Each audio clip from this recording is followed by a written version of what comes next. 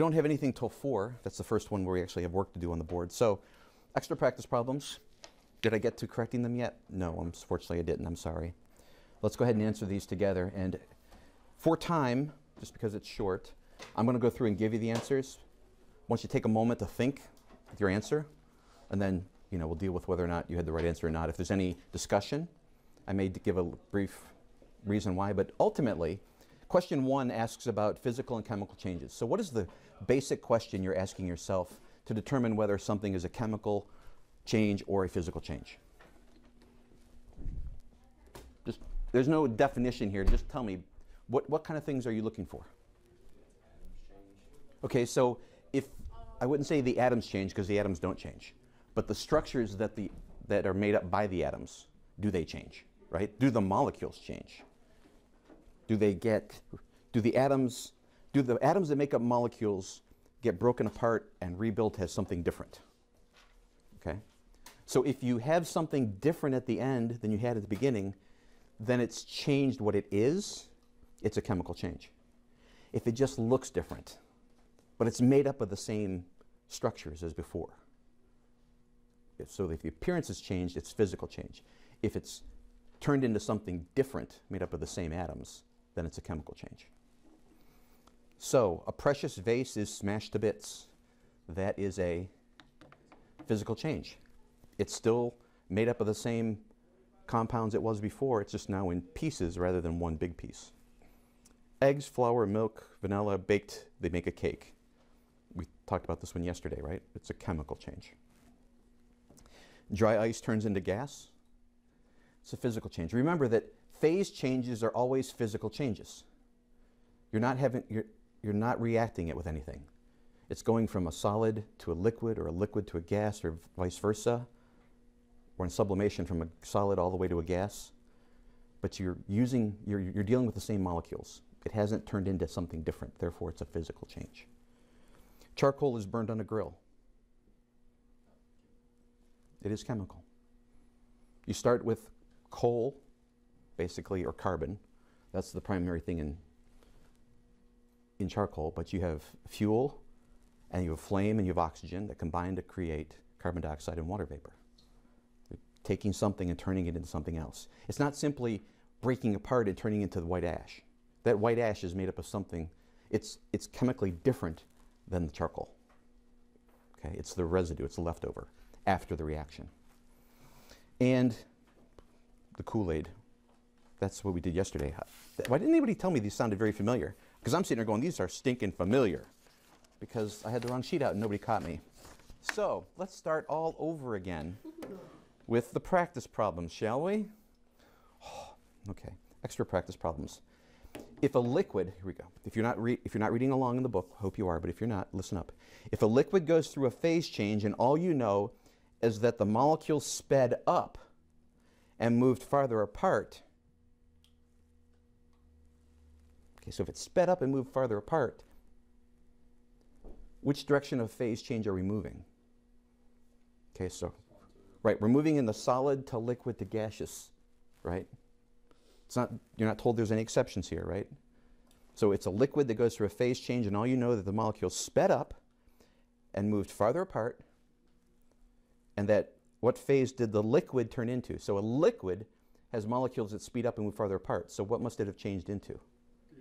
The gas, right. They're farther apart than liquid, so it has to be now in a gaseous form. Number two, describe what the inside of a container looks like if all three phases of acetone, the fingernail polish remover, were present at the same time. We joked the other day about ladies, you probably see that quite often, all three phases at the same time. Or don't see it, but you're aware of it because you open the bottle and you smell it. It's like, whoa, okay, there's the acetone smell, and there's the crust on the top of the bottle, and inside is the liquid that you're using to remove your nail polish. But let's suppose we had a container that had all three phases together. In other words, somebody left the lid off, and some of the acetone inside started to form into a solid, and some of the acetone inside stayed as a gas, and some of the acetone stayed as a liquid, how would it lay out? How would all three phases look? What would it look like in the bottle? Any, any ideas? Solid liquid gas. Right. We, we would go back to think of the analogy of the maple syrup, water, and canola oil. Why did they lay out the way they did? Because they had different densities, right? The most dense was on the bottom, the middle dense was in the middle, and the least dense was on the top. Here you've got the same molecules in a solid, liquid, and gaseous form. Which one is the most dense? The solid sinks to the bottom. Middle density, the liquid stays in the middle. Least dense, the gas. That's why when you open up the bottle, you don't get sprayed with acetone. You smell it, right? Because the gas escapes. The gas comes out. It's the stuff on top. And it's going to come out of the container. You're technically not smelling the liquid. You're smelling the gas. That's the, sec- the other phase that's present in the, in the container. So if you had all three together, you would have gaseous acetone sitting on top of liquid acetone, and at the bottom of that liquid, solid acetone. Number three, classify the following as physical or chemical changes. Say a window is broken, physical change, making cake again with all those ingredients. Chemical change. Water is boiling. Physical change, it's a phase change. You haven't changed the water into something other than H2O. It's just boiling, it's getting energy, and it's changing phase from liquid to gas. And D, a wood log is burned in a fireplace. Chemical change.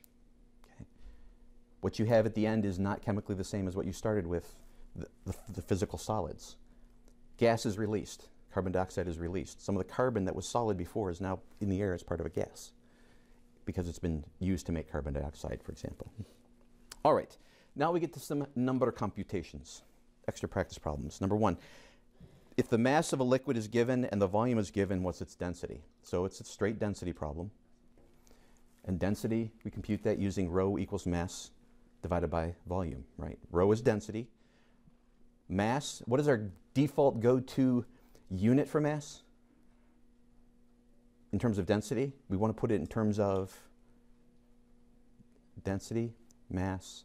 What is the basic metric unit for mass? Grams, right. Hello, Windows feature. I don't want you right now. I don't want you on my YouTube either, but oh well, you made your appearance.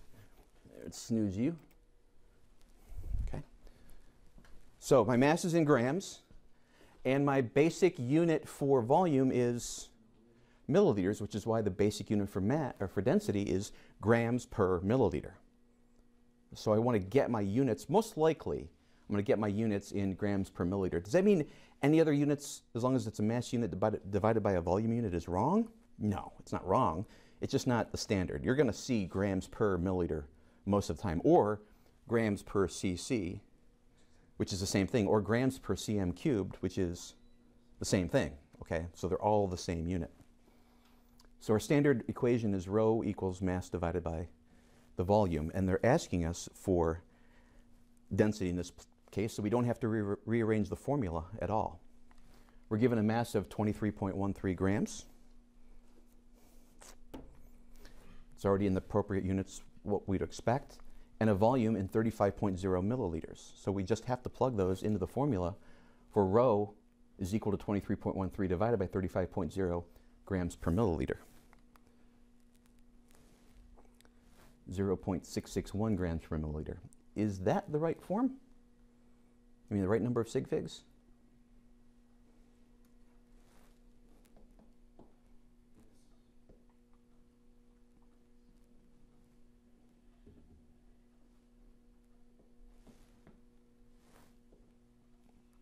How many sig figs are in 23.13? Four, okay. Sig figs in 35.0? Three. Answer has to be to how many then? Three sig figs. How many are there? Yeah, so this is the right format.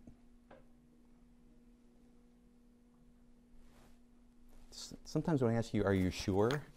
You're right, okay? It's an old teaching parent trick, right? Like this morning when I was in my office, a student comes in and I say, I'm sure you know why you're here, don't you? And they say, yes. I said, well, then tell me. Because maybe they think they're here for something that I'm not aware of yet. So then I got them for a twofer. See? So if I ask, is this the right format? The answer is, could be yes. Number five.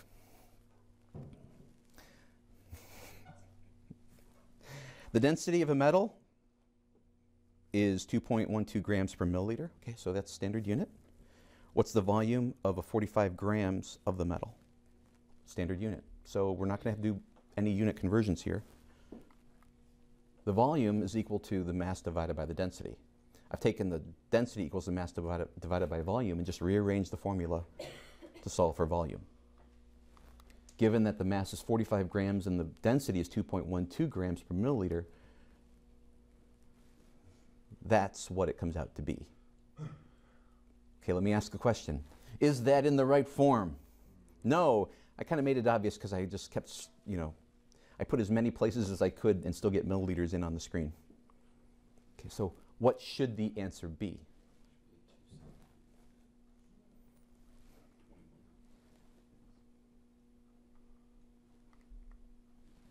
Correct. 45 is to two places, 2.12 is to three places. The answer can only be to two places.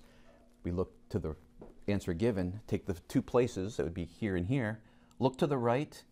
If it's five or greater, we take this one up. If it's four or less, we leave it where it is. And that's what we did for a volume of 21 milliliters. Number six, what's the mass of 0.67 liters of gold when the density is 19.3 grams per milliliter? So in this case, we're looking for the mass, we're given the density and the volume. Again, just rearrange the formula, rho equals m over v, to solve for mass, which is rho v. Given the volume is 0.67 liters, I want to put that in the appropriate units, the milliliters. I'm going there because I'm given density in grams per milliliter, so let's get this in milliliters. So as you look at that, one of the things to remember is your, when you convert it into something else, you have to have the same number of sig figs as the original, right? You're not going to change the number of sig figs. How many sig figs are in 0.67? Two. Hopefully you see that 670 is also 2. The trailing zero is insignificant. It's not significant because it's a trailing zero, but it's not right at the decimal point. Okay, so this answer in both these forms have two significant figures so I could use it. If putting it into milliliters would violate that rule and would give me too many sig figs, then I would have to rewrite it in scientific notation with the appropriate number of sig figs. All right? So if I could only have one, you know, it might be 7 times 10 to the third milliliters. But in this case, I can have two, so 670 will work. So there's my volume. Rho was given as 19.3 grams per milliliter. Just plug it into the equation. 12,931 grams. What must my answer then be? Not my units. What, how many sig figs should my answer have? What form should it be in? So 19.3 is 3 sig figs. 670 is 2 sig figs. For multiplication and division, I can only have as many as my least, right? 2 is the least number of sig figs, so my answer can only have 2. So therefore, my answer must be 13,000 milliliters. Because that has 2 sig figs. Do you see that? All the trailing zeros there are before the decimal place, so they're, they don't count as significant. They're insignificant. The 1 and the 3 are the only two digits that are significant, and there are two of them. The same as 670 has two of them.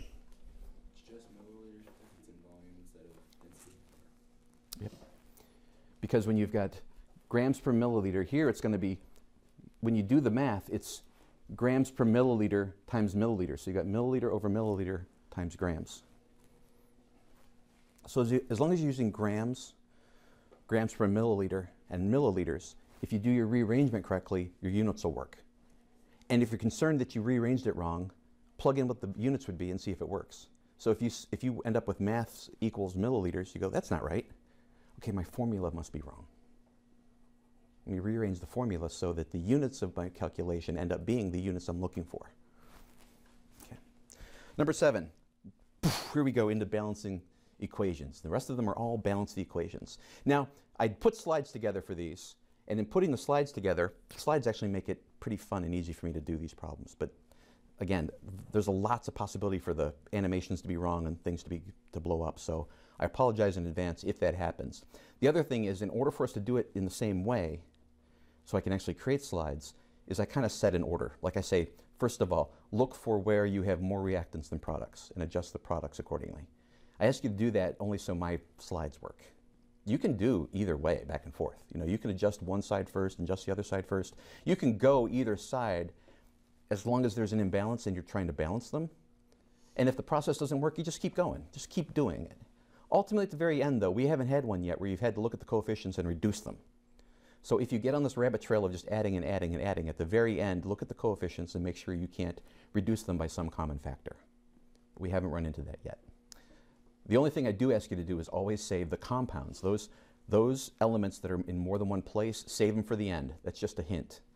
That will save you lots of anguish, lots of cycles of adjusting other things. Okay? On these problems, in a few cases, in order to not have too many slides, I've done multiple adjustments at the same time. You do not have to do that. Matter of fact, if you need to do it one at a time to make sure you do it right, please do it right. But if you're at the place now where you can kind of start seeing what needs to be done and seeing how it's going to affect other things, it's perfectly legitimate to do more than one modification at a time, adjusting more than one coefficient. Okay, so we may be doing that on these slides. But for your own work, again, there's no compulsion to do more than one at a time. And if you need to do one at, time, one at a time to get it right, please do it one at a time. Number seven, hydrochloric acid and calcium react to produce calcium chloride and hydrogen gas. So I've listed all the elements, and we're going to go through it and do the elemental counts. So for hydrogen, it appears one place, one set of one. Chlorine appears in one place, one set of one. Calcium, one place, one of one. On the product side, hydrogen, one set of two for two. Chlorine appears here only, one set of two for two, and calcium, here only one set of one for one. Okay?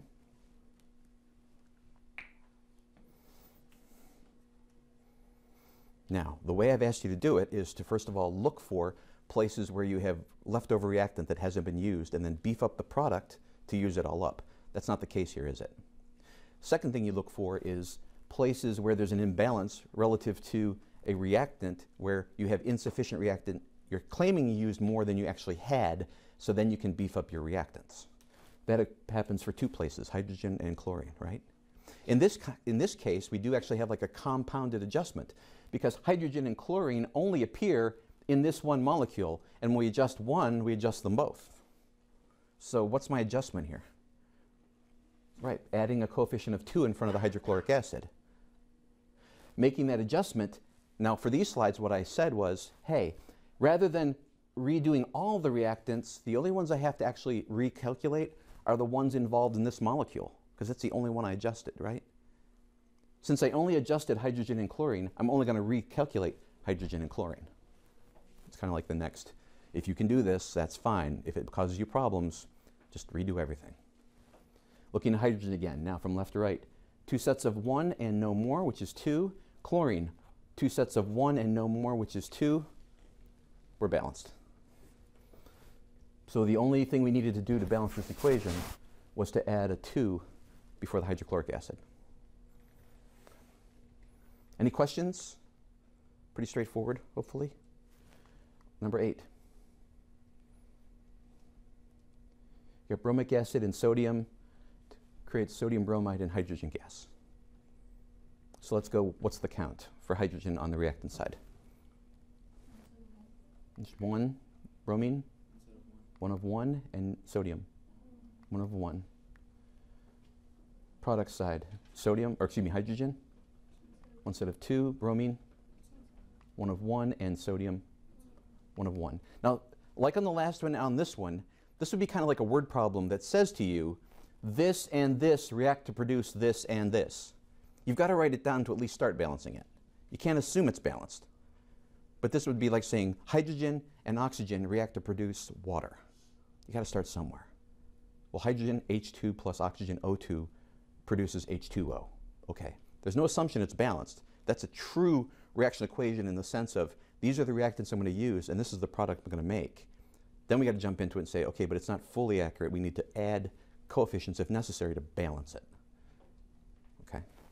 So in this case, again, looking for reactants that are unused, we have none. Looking for products that are basically overcreated. Where do we have more product than reactant? Because we have to beef up the reactants. And that happens in only one place, and that's with the hydrogen.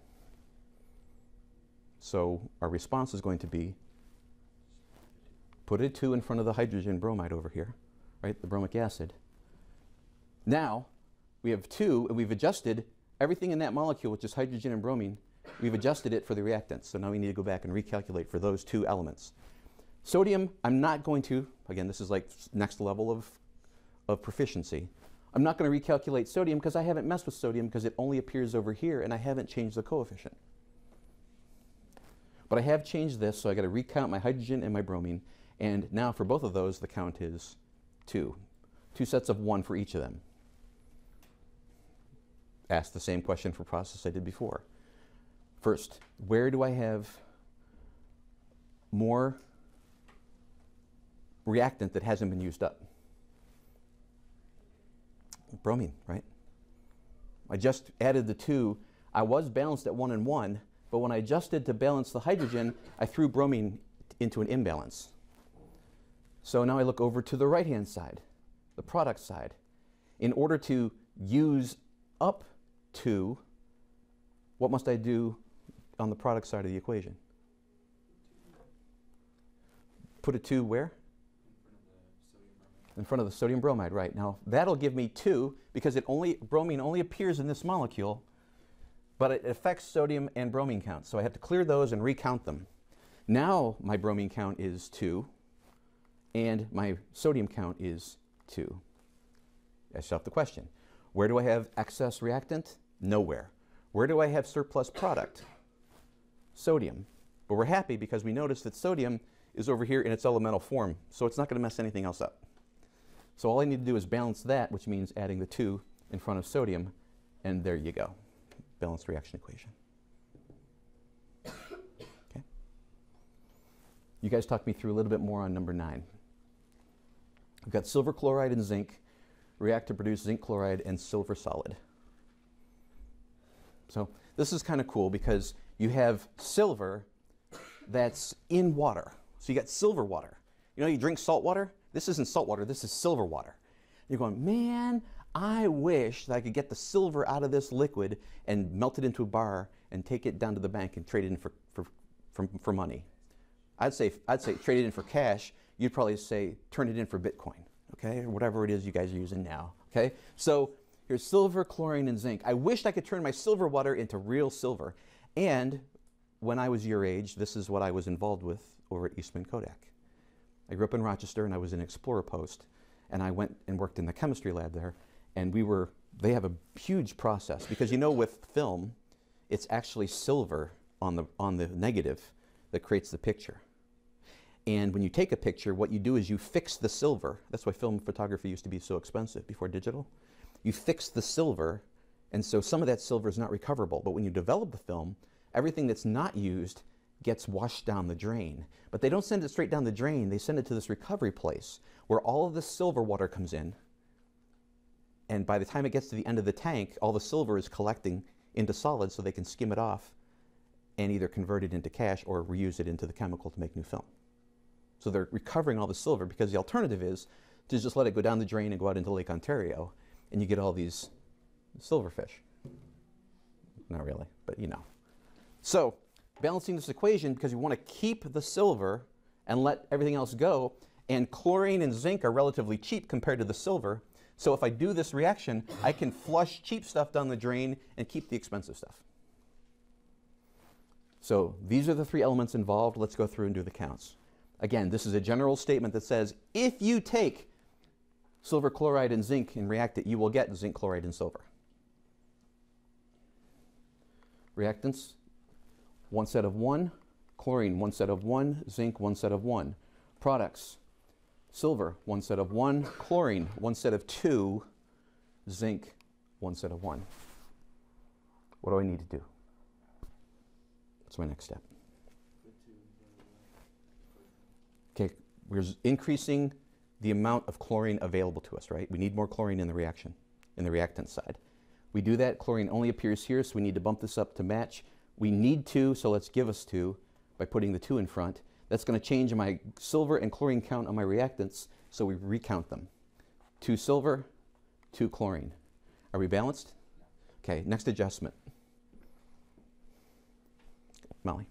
Put a two the, uh, in front of the silver. Put a two in front of the silver because we said, we go back real quick, we said we had two, but we didn't use them all up.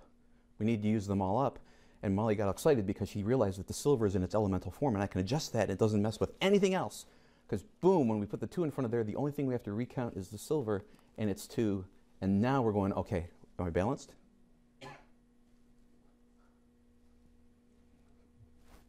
No, we're not balanced. But we need more what? We need more zinc in the reactant side, right? And lucky for us, zinc is in the reactant side as a elemental form. So we just can throw a, what we need, we need two, so let's make it a two. Oops, need one more slide. We would make it a two, and when we made it a two, the only thing that would change, if this were made into a two, would this would become a two, and when that becomes a two, then it's balanced.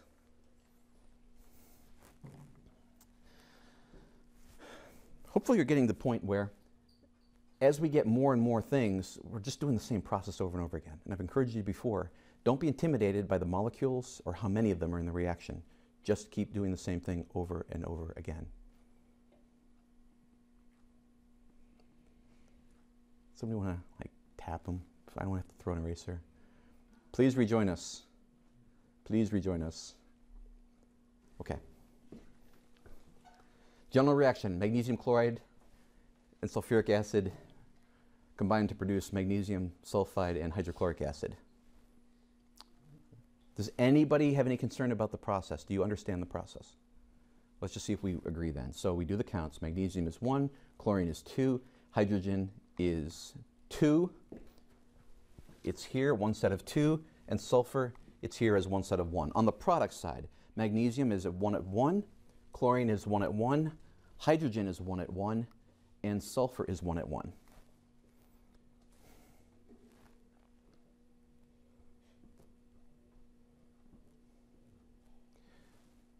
What's my adjustment? Using the process I've given you. And I've kind of, I've, it's a fake process in the sense that I've said, first, use up all your reactants. That just makes my slides tend to work better. So if we do that, where's my adjustment? I need to use up more of what, ma'am? Hydrogen and chlorine. Need to use them up. And guess what? They're linked to each other as a product, right? In hydrochloric acid. So if I fix one, I fix both. In this case, I need to increase my coefficient to 2. When I increase the coefficient to 2 in the product, I now need to recount my hydrogen and my chlorine, and they only appear there, so they become 2 and 2. That's it. We're done. Number 11. Carbon dioxide and water reacts to produce this monster CHO molecule and oxygen. So we do the counts. One carbon. Oxygen is here as one set of two and one set of one, which is three, and hydrogen is one set of two, which is two. On the product side, carbon, 18. Somebody said, oh, something, like an expression, this is going to be tough. Okay, here's what you do. You repeat the numbers underneath them. Okay? So carbon, carbon is 18 because it says 18. Oxygen is 16 plus 2, which is 18, and hydrogen is 32. How do I know that? Because it says 32. Okay? So whoever went, oh man, there, I know it's hard to copy numbers down, but there we go. Okay, so it's 1, 3, and 2 produces 18, 18, and 32. We need a lot of help on the reactant side, right? Every one of them is unbalanced. We have too few reactants. But where could we make our adjustments? So I'm going to wait and do oxygen last because oxygen appears in two places. But where else can I make adjustments? I need to make an adjustment to carbon, right?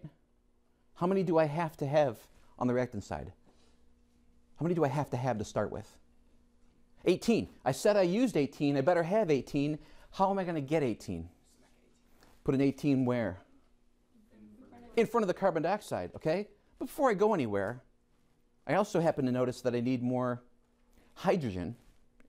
And hydrogen only appears on this side, or on this side only appears in this molecule, so I can do a double adjustment, right? So I need to have 32. I have two, so how do I have 32 hydrogens? They come in sets of two, so to have 32, I need 16, right? 16 and 16 are 32. Let's go. 2 and 2 are 4. 4 and 4 are 8. 8 and 8 is 16. 16 and 16 are 32. Okay, so so let's go ahead and adjust that. Let's do the 18 and 16. With the 18 and 16, it messes up our carbons and our oxygen. It messes up everything. So we're just going to have to do the whole count again. And the carbon happens to be 18. And the oxygen happens to be 18 times 2, which is 36, plus 16, which is 52, and hydrogen is at 32. Okay, so where do we need more stuff?